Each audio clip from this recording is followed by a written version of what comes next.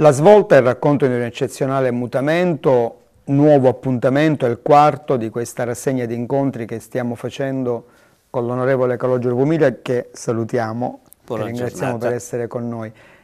È anche un modo, fatemelo dire, di ritornare un po' indietro nel tempo perché noi abbiamo fatto qualche anno fa con l'onorevole Pumiglia una bellissima rubrica che è un po' passata, non, non, voglio essere ridondante, un po' passata alla storia della nostra televisione locale, che è la storia della memoria, per cui raccontavamo dei fatti che in parte sono stati poi eh, condensati all'interno di questo libro, in cui l'onorevole Pomiglia parla di lui, di quello che ha fatto, delle, degli studi che ha compiuto, della possibilità che ha avuto di studiare e dunque di conseguenza di raggiungere anche gli obiettivi eh, che sono stati eh, molto prestigiosi per quanto lo riguarda come quello di essere stato un dirigente politico ma un deputato eh, al Parlamento. Abbiamo parlato di, degli studi ad Agrigento, prima vestito da pretino, eh, in seminario, con questa cosa che mi è rimasta impressa, del, degli studi in seminario che non erano eh, riconosciuti dal punto di vista giuridico e dunque lei ha dovuto fare l'esame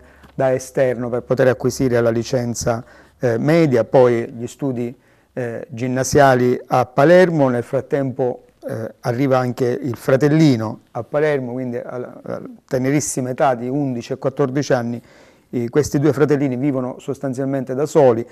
E già nella precedente puntata, onorevole Pomiglia, lei ci ha rappresentato un po' lo spaccato di questa Palermo del dopoguerra eh, che cercava un'emancipazione metropolitana, diciamo, però di fatto voi vivevate al centro di una, di uno scenario nel quale l'arte di arrangiarsi era l'elemento caratterizzante, eh, non per voi perché voi avevate il compito di studiare, ma per le persone che vi, vi stavano eh, attorno. Ecco, vorrei che ripartissimo da questo. Lei raccontava nella precedente puntata Palermo, molti palazzi anche importanti, anche beni monumentali erano sventrati dai eh, bombardamenti, sembrava insomma eh, di vivere in una specie di di città all'anno zero.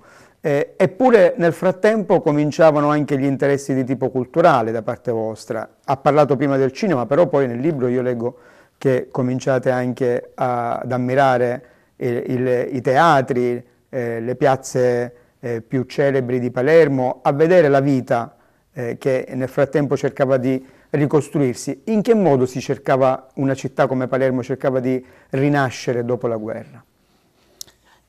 Cercava di farlo, ma come tutte le città, con la grande voglia, eh, come ho detto in, in precedenza, di trovare la strada della crescita, la strada attraverso la che consentisse di risanare le ferite che esistevano ed erano molte, sulle quali io per un momento vorrei tornare, pensando ad una figura che pure ha dato luogo a tante polemiche, che dal punto di vista della sua posizione politica e anche religiosa, eh, per me è discutibile, il cardinale Ruffini. Il cardinale Ruffini ebbe un ruolo di supplenza dello Stato straordinario.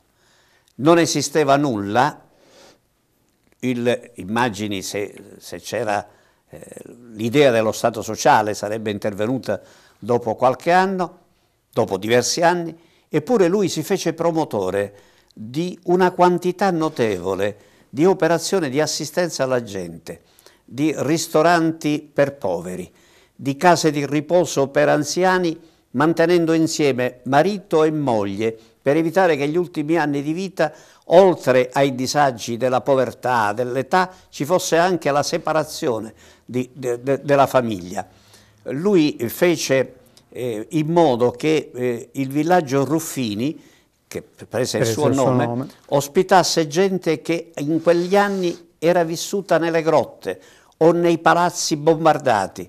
Fece una grande opera di supplenza sociale, poi ebbe posizioni politiche discutibili, Sulla fu anche attaccato insomma. in maniera a volte strumentale. Ed era questa la realtà nella quale non ci si aspettava dallo Stato la soluzione dei propri problemi, bisognava trovarli, cercarli da soli, poi era, era opportuno che lo Stato intervenisse certo. e quando cominciò ad intervenire la svolta, per usare, eh, riferirmi al, al, titolo del libro, avvenne a Palermo e altrove, ma magari ne parleremo. Ma furono gli anni nei quali, posso dirlo, io ero bravo a scuola, ma la nostra eh, scuola allora, pensi una cosa curiosa, avevo come preside il eh, preside che era stato al liceo di, di Sciacca mm. e professore Loiacono, un uomo alto, austero, con la barbetta, fascista. Proprio per... E allora ce n'erano molti. Sì. Il tempo non è che fosse passato così tanto tempo, quindi era normale che ce ne fossero molti. Era stato preside a Sciacca e poi era preside del liceo Umberto di Palermo. E ricordo un episodio che mi, pia mi piace raccontare, che eh, io non potevo farmi giustificare le assenze da mio padre, non c'era, mio padre era a Caltabellotta, e allora firmavo io le, la giustificazione. Un giorno lui mi chiamò e mi fece una levata di capo solenne, eh, concludendo col, col, dire che si cominciava a falsificare la firma del proprio genitore nel libretto delle giustificazioni e poi si finiva per falsificarlo nel biglietto d'assegni. E mi venne spontaneo dire non è possibile, signor Presidente, perché? Perché mi padronava il blocchetto d'assegni. Quindi quello non posso falsificarlo. non posso falsificarlo. Ma eh, la scuola a quell'epoca era ancora in larga parte, con tutti i pregi e i difetti, la scuola gentiliana. Certo. Ti dava una notevole eh, istruzione nel campo del latino, il greco, dell'italiano, delle, delle materie umanistiche, però con un perimetro delimitato, cioè tu non sapevi nulla di, eh, della letteratura americana o inglese o francese, eh, c'era una sorta ancora di autarchia di, di tipo quasi fascista, eh, per cui il, la, eh, la tua capacità di capire il mondo era limitata dai riferimenti ad un mondo, da, a, dal punto di vista culturale, ad un mondo che non c'era più. E allora bisognava cercare gli stimoli altrove. E fu anche, per così dire, eh, la mia eh, piccola capacità, quella di uscire dalla dimensione della scuola. E cominciai a farlo come? Eh, in, anche sul, sul, terreno della politica. Eh, io cominciai ad occuparmi di politica perché eh, facemmo al penultimo anno del liceo un, il giornalino d'istituto, eh, scegliendo un comitato di redazione tra i ragazzi che mh, litigavano meno con l'italiano, che avevano una maggiore capacità diciamo, di utilizzare l'italiano. E allora quando facevamo le riunioni per preparare il giornalino, quindicinale, adesso non, mm. non ricordo la periodicità, innanzitutto si era, ci si impegnava a dover scrivere di qualcosa che eh, fosse naturalmente eh, di attualità ed erano eh, problemi economici, problemi sociali, ma anche problemi politici. E la politica a quell'epoca si interessava di una cosa che sembra appartenere alla storia medievale, cioè dire di, di, di Trieste. Trieste con il trattato di pace non era stata assegnata né alla Jugoslavia che pretendeva di averla tra i vincitori della guerra, né all'Italia che eh, era la, nazione che aveva perduto la guerra, aveva avuto uno statuto a sé stante e bisognava a un certo punto risolvere questo problema con l'assegnazione definitiva all'Italia in una posizione che va ricordata, dove c'erano delle forze politiche in Italia che avevano un atteggiamento molto ambiguo, perché il Partito Comunista allora nella sua logica di internazionalismo, di vicinanza al mondo eh, del, del, al, del di là, al di là della cosiddetta cortina, cortina, di, ferro, ferro.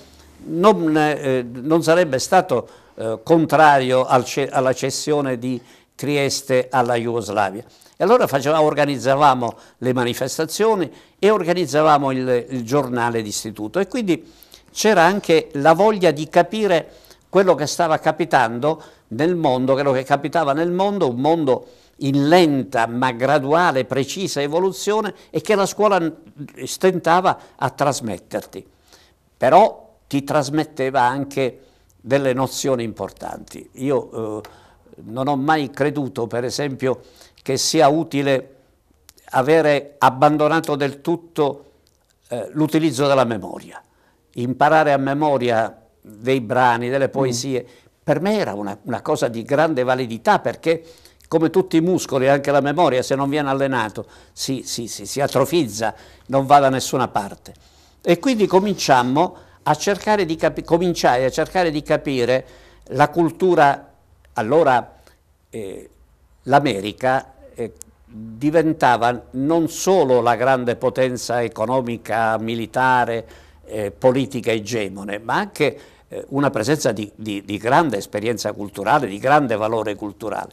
E c'era a Palermo la biblioteca americana, l'ISIS, eh, in, una zona centrale e cominciai a frequentare eh, l'ISIS e quindi a, a leggere gli autori maggiori dell'epoca, da Hemingway a Faulkner ad altri, cominciai a, ad occuparmi anche del teatro e, e, della musica, che diventarono poi nel tempo due piccole passioni che naturalmente da, così, da, da apprendista, mm. eh, non, non, da esperto, ho continuato a, a visitare e a coltivare.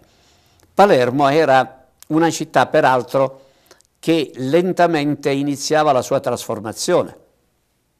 Diventava il centro nel quale si riversava un numero sempre crescente di persone provenienti dalle province vicine, dalla provincia di Palermo, da quella di Agrigento e da quella di Trapani. Quelli che un tempo si chiamavano i regnicoli, quelli che venivano dal regno, mm. e, e, la, la, parola non, è, non aveva un, un suono del tutto positivo. E perché? Innanzitutto perché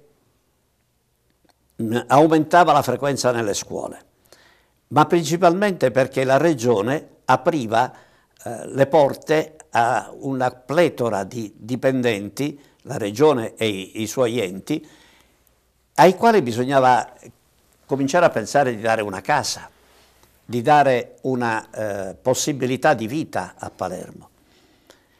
E questo incrociò anche un fenomeno di devastazione eh, graduale, di, devasta di, abbandono del centro storico, mm.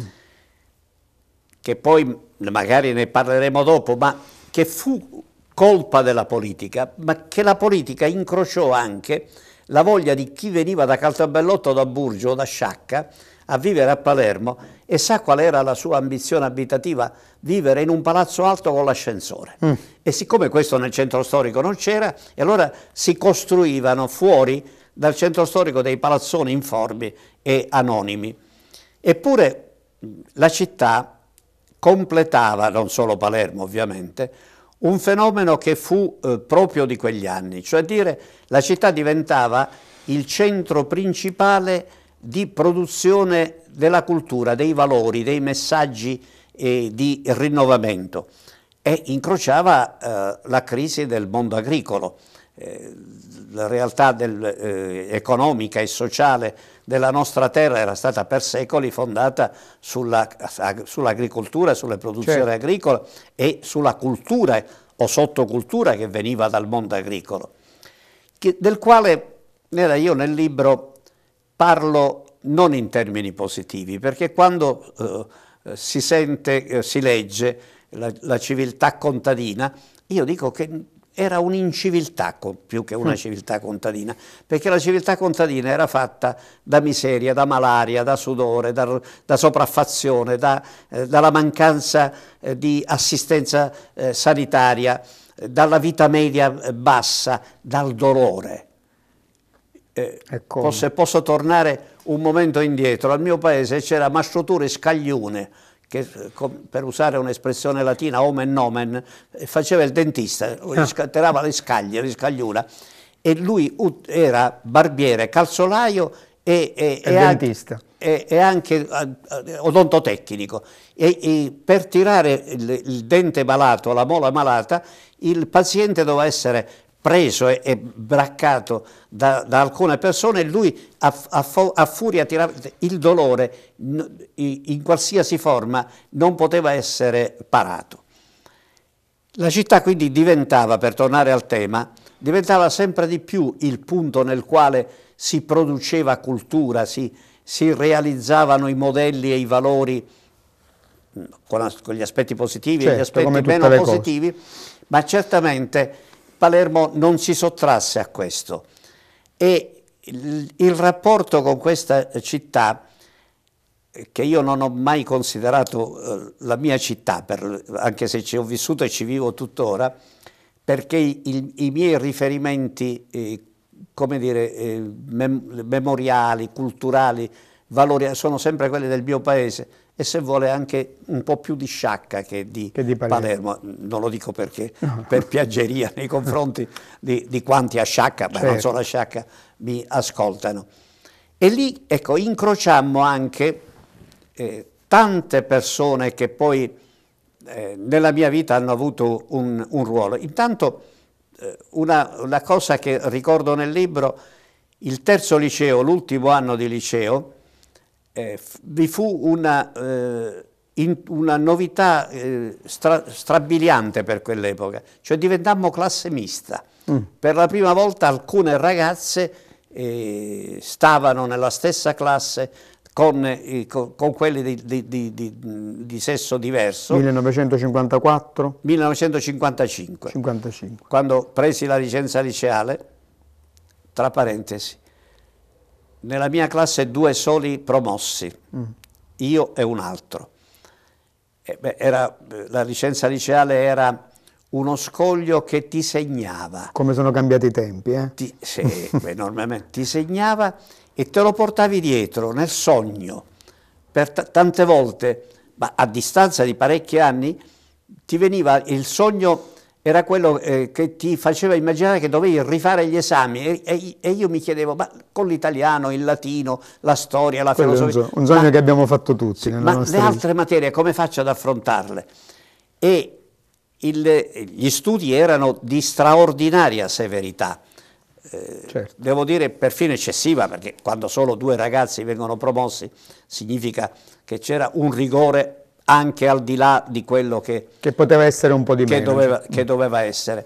Ecco, sorgeva questa città, sorgeva anche ecco, l'università, poco alla volta diventava l'università di massa, eh, bisognava cercare nuovi spazi, bisognava eh, eh dare eh, ospitalità a tanta gente che, ecco, per dire, io vivevo in quella pensione via dei credenzieri, si chiamava, e in quella zona penso che ci fossero almeno 5 o 6 pensioni di caltabellottesi, solo di caltabellottesi. Eravate una colonia. Che è una specie di colonia, una sorta di Bronx che eh, tutelava e nello stesso tempo isolava, rischiavi di essere, eh, come dire, circondato dai tuoi amici, dai tuoi compaesani, ma impedito nel, nel rapporto, nell'apertura con gli altri. Lei sperimenta il ruolo politico. Prima parlavamo della questione jugoslava, della questione di Trieste, dove c'erano le contrapposizioni, perché c'erano i comunisti, c'erano ancora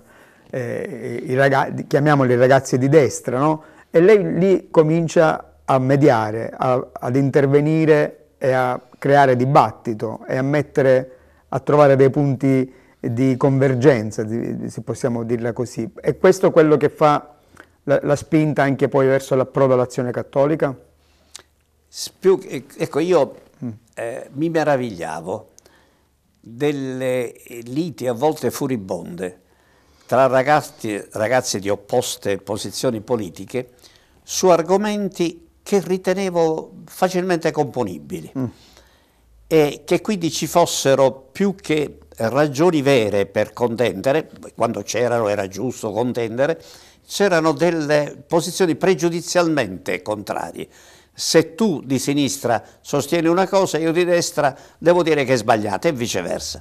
E allora, anche se ragazzo mi veniva voglia di dire, ma eh, ragioniamoci, troviamo il, il, compromesso che non è una parolaccia ma è una parola straordinariamente positiva perché se nella vita non eh, si fanno ogni, giorno. ogni momento dei compromessi non, non, non si vive più. Non solo in politica. Eh, in, in, nella vita in genere diventa una, una, guerra, una guerra a tutto spiano. E quindi lì io maturai una, eh, tra virgolette, una cultura tutta democristiana, tutta protesa alla, ricerca del eh, consenso non per assenza di forti valori, ma perché ritenevo che valori, posizioni dovessero essere il più possibile partecipate, il più possibile eh, allargate, era necessario allargare il più possibile il consenso attorno ad alcune cose sulle quali non c'era motivo di contendere. E quindi poi quando presa la licenza liceale eh, tornai ad Agrigento, dove ero stato in seminario, per una, un caso, perché poi eh, nella vita di ciascuno di noi eh, c'è la fortuna, c'è il caso, solo che bisogna andarci incontro, perché da sola la fortuna non, non viene, bisogna cercarla. Eh, io ero a Caltabellotta e aspettavo di cominciare gli studi universitari con eh, la curiosità, l'ansia di questa nuovissima esperienza. E un giorno a settembre l'arciprete dell'epoca mi chiese se ero disponibile ad andare al seminario minore di Favara a seguire un corso di dieci giorni dell'azione cattolica. Io accettai sia per le mie convinzioni, ma anche per fare una cosa diversa. Per curiosità. Per curiosità, perché mi ero scocciato di stare a, a, così a lungo lì. Andai, dopo un paio di giorni di ascoltare eh, le conferenzine, le lezioni, iniziai a, ad intervenire, a dire la mia, eh, conclusione, prima che finisse il corso, intanto eh, il giorno precedente che si concludeva con la Via Crucis per le vie di, della città di Favara, mi diedero l'incarico di commentare l'ultima stazione. Era una sorta di privilegio evidente. Certo. E poi i dirigenti, il prete e il presidente dell'Azione Cattolica, mi dissero che volevano presentarmi al vescovo. Mi portarono dal vescovo. Che era? Monsignor Peruzzo, Peruzzo. personaggio straordinario di, di una eh, carisma, di una simpatia umana, di, di una cultura notevole. Mi ricevette dopo aver parlato con loro e mi diede l'incarico di dirigente dell'azione cattolica per la, col compito di, di diffondere la dottrina sociale della Chiesa. Io non avevo compiuto 19 anni ed ero diventato generale senza avere fatto mai il mm. soldato, per, per così dire. E mi ospitarono nella canonica della chiesa di San Francesco, nel centro della città di Agrigento, dove vivevo da solo e dove alla sera, quando aprivo il portoncino, c'erano due rampe di scale che confluivano su un pianerottolo e sulla parete c'era un grande crocifisso, io devo dire che avevo paura mm. e avevo anche il senso di colpa perché a darmi paura era il crocifisso e sentivo che era sbagliato quel sentimento che tuttavia era talmente naturale che non riuscivo assolutamente a, a governare. A controllarlo. E poi avevo l'abbonamento in un eh, ristorante, nel, nel, più scarso ristorante di Agrigento, del quale ricordo i piattoni di pasta e di riso scotti, e poi una fettina di carne che era una solettina proprio appena appena accennata e da Agrigento utilizzando le corriere, non avevo la macchina, ovviamente andavo nelle parrocchie della diocesi a fare, si chiamavano le tre sere, tre conferenzine serali su problemi economici, politici e sociali, in un'epoca nel quale lo scontro tra il mondo cattolico e il mondo comunista nel mondo e in Italia eh, era straordinariamente forte, duro.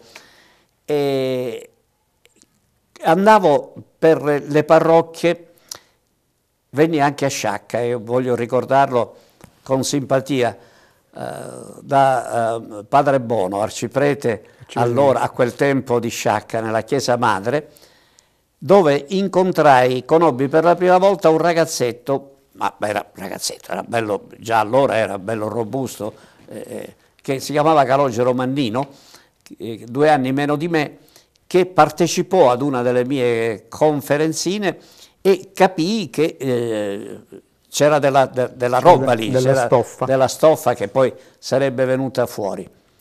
E tra le tante cose io ho un paio di ricordi che eh, mi piace eh, riprodurre. A, a Racalmuto quando stavamo entrando con l'arciprete padre Casuccio, nel salone dove io avrei dovuto parlare, tenga conto che a quell'epoca la partecipazione della gente a tutte le riunioni di partito, di, di sindacati, eh, di azione cattolica era notevole perché la voglia di esserci, di sentire era notevolissima. Oggi quando faccio le riunioni, eh, anche partecipate, calcolo l'età media che è vicina alla mia, è, è difficilissimo trovare purtroppo dei ragazzi e coinvolgerli su temi politici o culturali. Ci sono anche, per carità, ma non è facile. Monsignor Casuccio mi ferma, quasi col volto un po' così, e mi fa, ci sono Marchese e Sciascia. Io dico, beh, non avevo sentito mai parlare di Marchese, che era un avvocato del luogo, socialista, una persona di grande vivacità culturale, non avevo sentito mai parlare di Sciascia, aveva pubblicato sei mesi prima Le parrocchie di Regalpietra, a me sconosciute. E allora, un po' perché non conoscevo i personaggi, un po' per l'arroganza tipica dell'età, ho detto, vabbè, che importanza ha? Cioè, se parlano, se parlano, rispondo. E più marchese che Sciascia, perché Sciascia era molto parco delle parole, distrussero la conferenzina che avevo fatto, dandomi veramente un, un, un senso di umiliazione, per mm -hmm. così dire, ma anche mi fecero capire che avrei dovuto leggere tante cose prima di poter essere in grado di affrontare adeguatamente i temi che dovevo rappresentare. Questo per un aspetto, per un altro aspetto un po' più, diciamo così, leggero, a Palma di Montechiaro l'arciprete viveva in una casa eh, propria con la sorella, eh, padre Castellino si chiamava, mi ospitò nella canonica. La sera a cena con lui, poi mi accompagnò lì e mi disse domani mattina ti porto la colazione, buonanotte. Mi corico e comincio a sentire dei passi. Naturalmente ebbe del terrore perché temetti che ci fosse qualcuno che stesse salendo per le scale. Io riuscii ad addormentarmi dopo qualche ora, un po' perché convinto che ci fosse stato qualcuno già si sarebbe fatto vedere, un po' per la stanchezza e per il sonno. Quando al mattino successivo venne l'arciprete e mi chiese se avevo dormito bene, io dissi una bugia, sì, e lui aggiunse, ma un te dettero fastidio le mule dalla stalla di uso, erano dei muli che pestavano, e naturalmente mi incavolai parecchio con l'arciprete che non mi aveva, non aveva avvisato. Non mi aveva avvisato che lì c'erano i muli. Allora, siamo entrati nell'inizio dell'impegno politico dell'onorevole Pomilia. Concludiamo questa quarta puntata della nostra rassegna, la prossima parleremo degli anni universitari ma anche delle, del testimone Pumilia di fronte alle innovazioni che sono state importanti dello Stato sociale nel nostro Paese. Grazie onorevole Grazie Pumilia. a lei. Appuntamento alla prossima settimana, non, non posso dimenticare prima di invitarvi a, ad ordinare il libro su Amazon oppure lo trovate presso la libreria Ubic di Ornella Gulino. Grazie, appuntamento alla prossima settimana.